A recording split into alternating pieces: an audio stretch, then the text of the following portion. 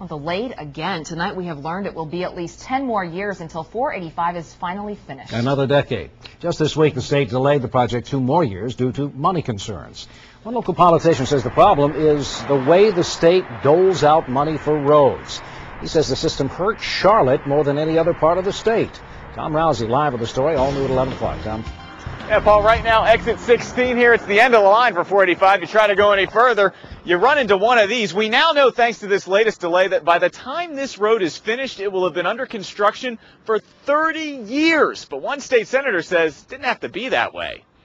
This week we drove to Raleigh and took a ride on I-440. It's smaller than 485, but it's similar in that it loops around the city. And it's been done since 1983. And they've started building a new loop further out. Now flash to rush hour today in Charlotte, where we now know 485 won't be done until 2017 at the earliest and plans to widen parts of it in South Charlotte are also delayed. Not fair at all. State Senator Robert Pittenger says much of the problem is the way the state funds roads. He says for every dollar we in this area pay in taxes for roads, we don't get a dollar back. Now, things aren't working right. These formulas are favoring uh, portions of the state that don't even have population growth. Here's how the DOT says roads are funded. Half of the money is given out based on an area's population. That's good for Charlotte. But half the money is given out for other reasons, including a portion that's given to each region equally, no matter how many people live there. You go out to the eastern part of the state and you've got these wonderful roads.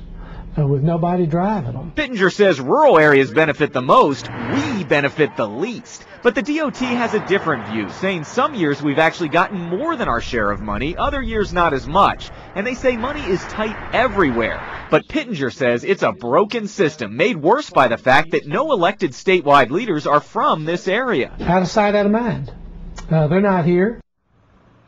And when 485 is finally done, you'll be able to hop on it, say come from Gastonia on 85, get on it, head up this way, and actually get to a place like Huntersville very quickly. But we now know, for at least the next decade, this is going to be standing in your way until this thing finally gets finished sometime pretty far from now. Back to you.